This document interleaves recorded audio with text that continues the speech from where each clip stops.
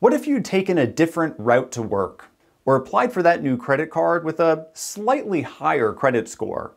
That's a counterfactual. In AI, counterfactuals are the what if scenarios that explore how small changes in input affect the outcomes. They're powerful tools to test how models make decisions and whether those decisions are fair or biased. Here's why it matters. Counterfactuals help us ask, would the decision have changed if only one detail were different?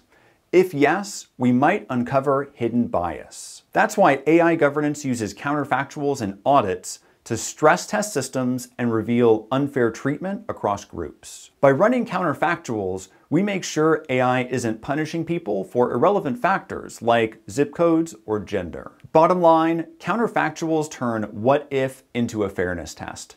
And governance makes sure that those tests aren't just academic, they protect real people. If you've enjoyed this video and want to learn more about AI governance, follow me. Right now I'm covering all 101 terms for the AI Governance Professional Exam.